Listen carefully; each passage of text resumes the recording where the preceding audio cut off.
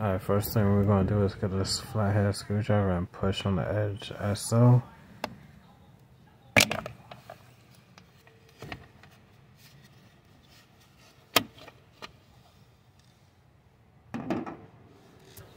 Now we're going to get the new one.